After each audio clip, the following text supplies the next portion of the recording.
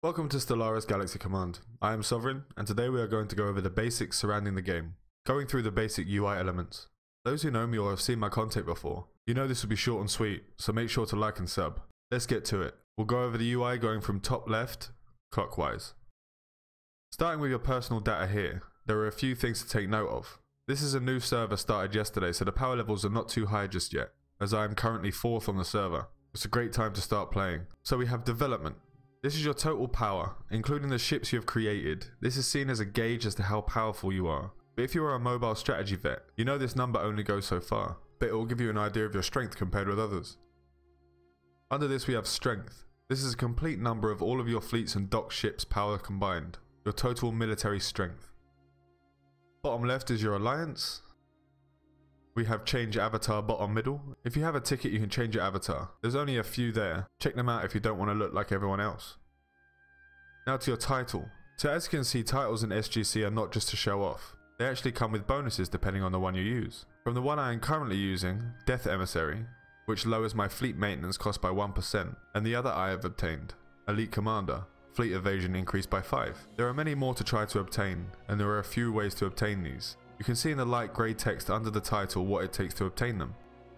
The data library shows all of your personal game statistics. It's a great place to compare with your alliance mates, see who has the biggest PP in the Donut Galaxy. Battle information is pretty self-explanatory. Ships lost, ships destroyed, how many battles won and lost, etc. Resources is just how much you have collected from debris, asteroids or mining planets. Next up we have your cabinet. Your cabinet is made up of officers that give you bonuses depending on level and skills as you can see on the left hand side. Each slot unlocks at a certain Nexus level, as you can see in the bottom right, 11th for production etc. Currently I have construction and military unlocked, which increases constructions and shipbuilding speed. Both of my ministers are level 40, so a flat 5.7% bonus is what they have, until I can upgrade their flagships. More on that later. Now onto a large part of the Stellaris franchise, you have ethics, and how your civilization's culture defines itself. Or it's supposed to. If you're anything like me, you want the best of all stats and bonuses for your gameplay. Currently the meta is all green. The passive route, especially at the beginning, is better for all your resources. It's better for your research speed, tax revenue bonus. Compared to what the military side gives you, maintenance cost decrease, shipbuilding speed, all of that doesn't matter when you cannot keep up with the resource demand. Trust me on this. Lastly, we have achievements. The titles we saw earlier do mostly come from your achievements. You obtain these by completing certain parameters, like killing corvettes, for example. These are just for show, they do not give you any special bonuses. Now we move to the bar at the top of the UI. You see the flashing red icon? This indicates that you have a negative resource. When you press this, you can go into it and see which resource you need to raise your stock of. It will show you how much time you have left until you run out, what options you have to gain this resource, and under effects you will usually have what building will be shut down, or what ships will be mothballed to get into the positive. Next we have your population, your primary energy credit income. Pressing this will bring up another window, showing exactly what your growth rate is and how much tax you are currently making for your people. As of right now, you cannot lower and raise tax, which I feel is a silly oversight. This window also shows how much food is required to keep your pop alive and growing. Energy credits, the currency of SGC, used in trade, building maintenance, ship maintenance, pretty much anything in the game requires energy credits, minus a small few. You do not have to worry about this for the first few days as your population is increasing. Just make sure not to buy anything too expensive and that you have your expenditure covered for a few days until your tax rises. Next we have your resources. This is a quick overview of how many resources you are losing and gaining every day. Metal is an absolute nightmare to balance at the moment, unless you have shut down or just don't build certain factories. Don't worry about it too much unless you're in the thousands. As long as you have a nice stockpile you'll be good till the higher levels. You can press on this to show more in-depth details and click on the tabs to the left for filters. Also the little eye on the right will show you exactly which buildings are using this resource and how much they are using so you can decide to shut one down to get into the green. Top right we have the in-game real money currency, just used at the moment to speed up buildings and gain resources, officer levels etc. Really not that important as I said before I'm in the top 5 and I've only bought the battle pass keeping up with the whales. To the battle pass then. If you enjoy the game and are willing to spend a little cash, I would go with the elite battle pass. Costs you around 33 euros, but what you get is 3 months of nom noms.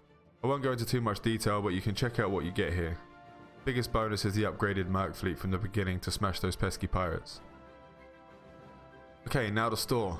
Microtransactions. Now the discount shop feels almost pointless. The items are pretty shit. Not what you would expect from the devs of Nova, but hey ho. Daily missions.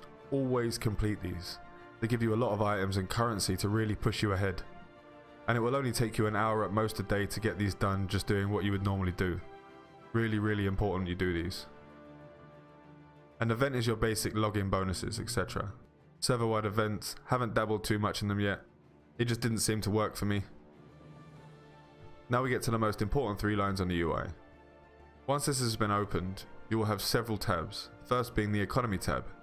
This is your go-to for building and researching, showing you how much time you have left to finish, if you need to set another build, you can speed up from here, do the 5 minute free speed up, and also keep an eye on all your ships being built, and if you need to fill the slots. The fleets tab shows you just that, your fleets. All information regarding your fleets. Most important thing here is your supply amount, which is the green line here. If you have your ship out and it's running low on supplies, it will no longer be able to fire, and will be set back to your station mid-fight in PvE. Make sure these are full whenever possible. You can also create fleets from here if you wish. The trade tab gives you an overview of completed auto trades and also creating orders. I will have a guide on trade coming very soon, please keep an eye out for that. And lastly boosts. These will become more important later, when building and research times go through the roof, and also for PvP. I will also go over these full detail in another video. Now in the bottom right you have the galaxy map and system map. Use these to go into the respective maps, galaxy showing you the whole map in its entirety, the system map showing you the system you are currently in. At the bottom middle we have pop-ups. Your station events and planet events will pop up here as a way to increase your ethics and gain items. Also your science fleet will come up here when idle, and, a red icon to remind you you have buildings shut down. The radar is used to spawn new pirates in your system if you have murdered them all, kinda buggy but works most of the time. Okay, so on the bottom left we have the chat. Everyone knows the chat, or wishes they didn't. No need for an explanation here. Above this you have an icon that pops up when members of your alliance are asking for help. By pressing this icon frequently, it will speed up builds and research for everyone. Make sure to always do this if you're in alliance, it helps a lot. Speaking of alliances, our alliance Band of Brothers is looking for more active players. The number one alliance on server 3, we are looking for active players willing to learn and fight if need be. Must actively participate in alliance events. With the advert over, we now have the structure tab. This will give you an overview of all of your buildings. If you want to specifically build something, to raise a specific resource, per day, or your pop growth is getting low, you can press on specifics here, and it will show you what you can upgrade. The inbox is mail and battle reports, trade reports, etc. Nothing new here. And the function tab is a whole guide in itself. Basically it's an overview of all options with a few differences. It has the leaders tab, which shows you a level and allows you to upgrade leaders, showing your current rank, ship designs, which will also be done in another video, and your setting options. Keep an eye out for those guides. And that's all we have for this beginner's guide. Make sure to like and subscribe if you found this useful, and remember, fly safe, and avoid APS.